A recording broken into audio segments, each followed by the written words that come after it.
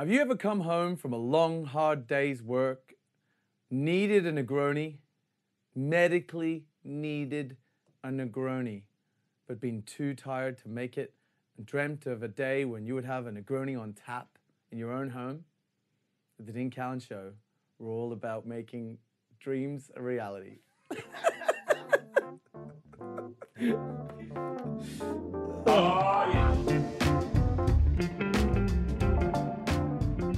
Morning, ladies and gentlemen. Welcome to the Dean Callan Show. Today, we're going to be talking about how to install a tap for cocktails in your home or bar. Now, first thing you're going to need is a keg. So, I've got a couple of different keg systems with me to demonstrate the difference in size. This is about the smallest one you can get. I think it's 1.75 gallons, or I don't know how many liters that is, like five. And this guy here is a five gallon. So, you can see um, both the tops basically have the same function. They've got a little opening there. You, you open out that. You've got your two different valves in and out. I'll demonstrate on this one what that means. Now, you've got an in and an out valve. In is for your gas or air pressure, and out basically runs a line to your tap. To demonstrate today, I'm going to use what is supplied with the cocktail taps that we're recommending. You've got your out valve, which is always going to be black on a Cornelius keg. That's the type of keg we're recommending. Um, now, these come in different varieties. This one here in particular has a kind of a screw piece on the end. You can see here, this is one that I prefer. It's got a little plastic uh, rubber seal or plastic seal there. And then it's got this bit here. You tighten that on and once you've got it nice and tight, no leaks. Another variety is this one here. Same thing, except that the barb system, you simply put it on the end of the hose and tighten this bit up. Now these don't come supplied, but I'd recommend you buy them. At the other end, I've got this very simple plastic tap. You close it, it stays closed, you open it, and out comes the liquid. With this, you're simply sticking a barb in here and tightening that on the end. Now that might not look like your traditional cocktail tap you'd see in a bar. These are the ones I'm using here. They use the same type of system as this. There's a thread coming down there and I've just attached a hose to them.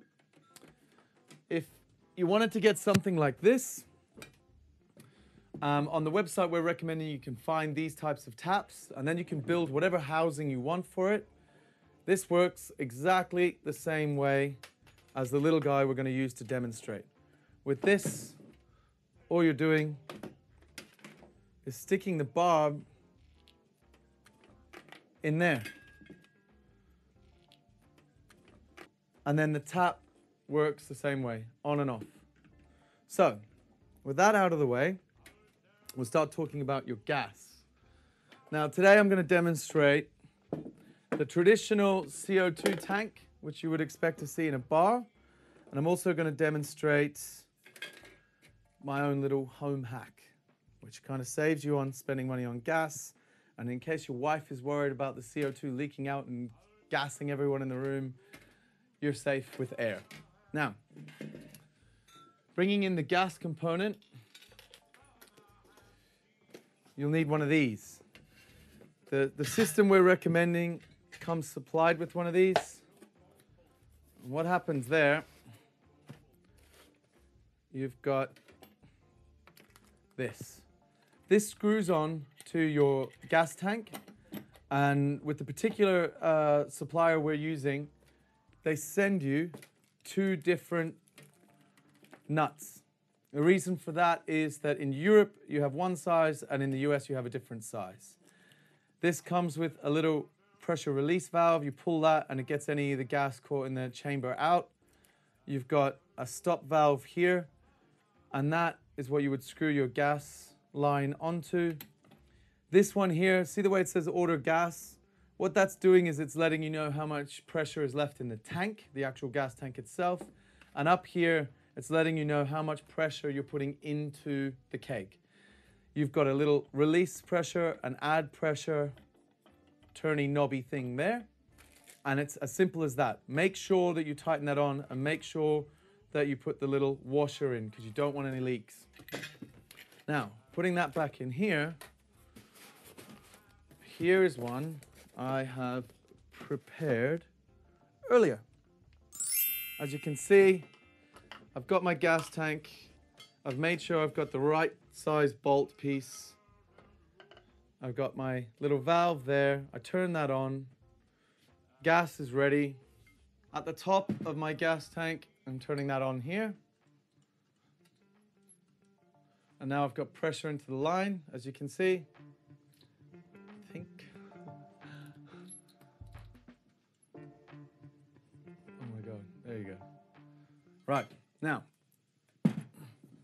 If I want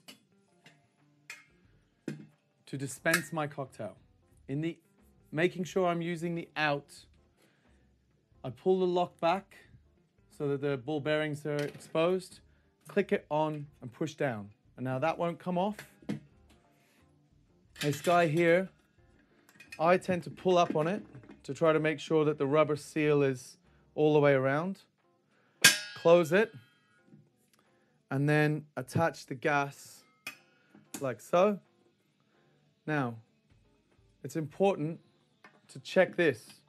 As you can see, the seal's not perfect there, so I'm going to take that off, release any pressure, and open it again.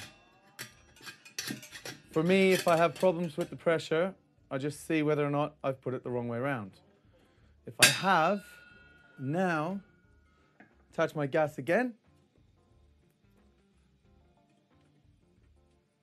let it start to fill.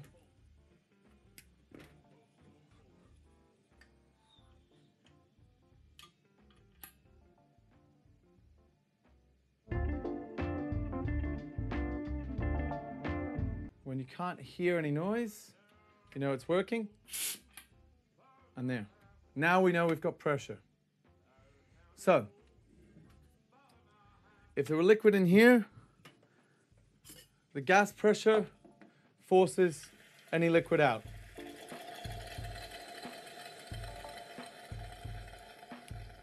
And that is how to build a cocktail tap at home. Obviously, whatever type of tap you want, you can use on here.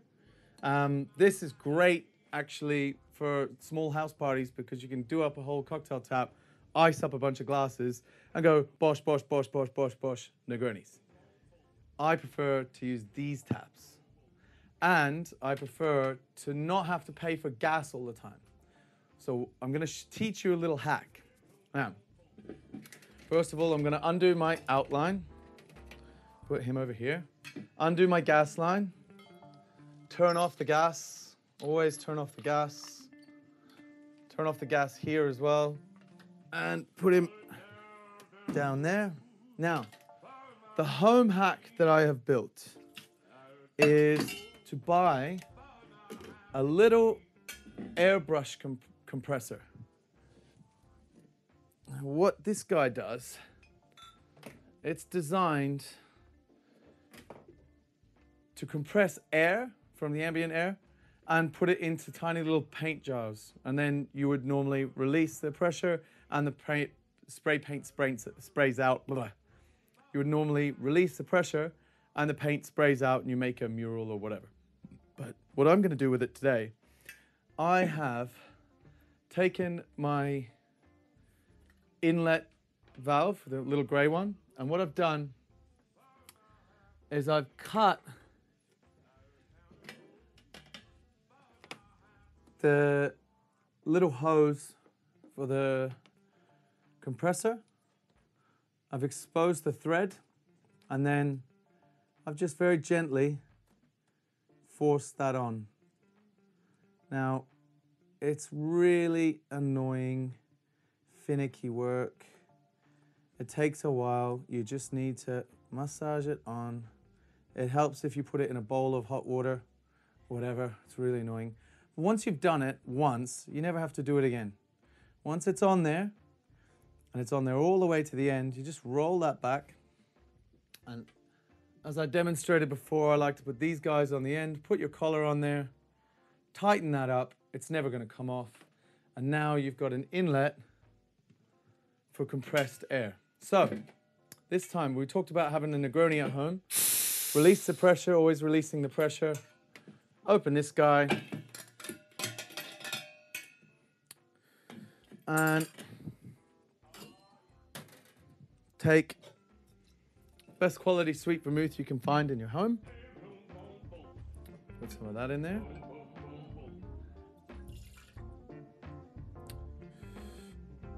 Best quality gin you can find in your home. uh, gratuitous plug. Gin. What what are we gonna use? What are we gonna use? Oh, that's right, it's Campari. Right. And some Campari. Throw that in there. Now, we've built the cocktail. We're gonna pour it into here. We're gonna do our best to make sure that this seals. Same process as before. Put it on.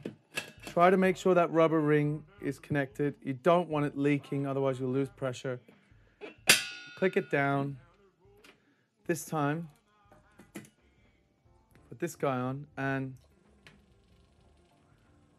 this, not too expensive. And to be fair, I've used it quite a bit in my home bar. I've had it about two or three years and it hasn't broken down yet. I've also traveled with it because you're not traveling with gas. You can just wrap that into your clothes. You bring this with you. As you can see, it'll fit in a suitcase. And one of those tubes with this piece, one of those taps, they're only 15 pounds. I'll put a link to the taps that I'm using.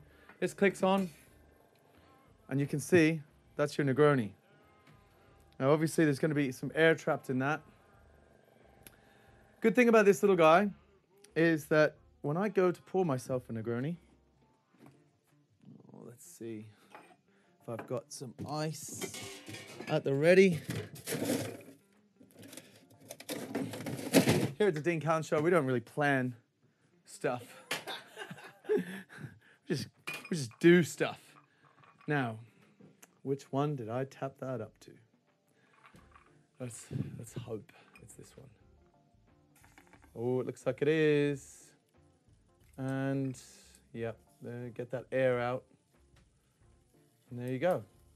That is how simple it is to build a Negroni on tap.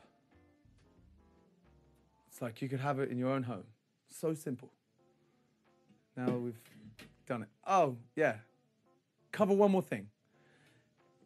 Basically, if you want a carbonated drink, don't forget this. Use the CO2, not this. That won't carbonate your drink. What you're trying to do if you want to make a carbonated drink, you're charging with the CO2, this guy here.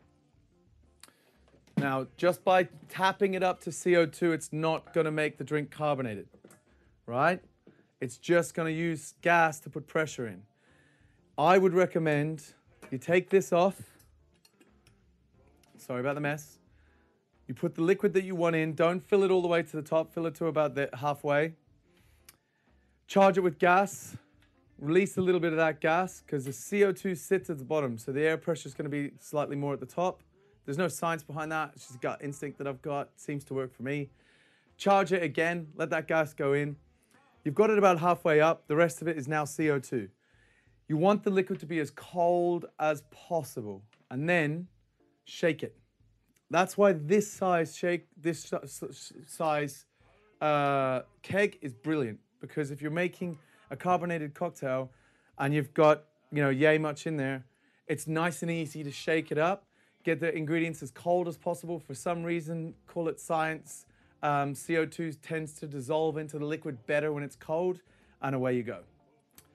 Um, otherwise, if you just want traditional old, heavily aerated, undiluted Negroni. Oh, we're not supposed to be drinking today. Fucking tastes good. Whatever. we went a whole day. We did a whole yesterday. Cool. And we're done. We should have been done ages ago. it's all right. It's got a nice kind of.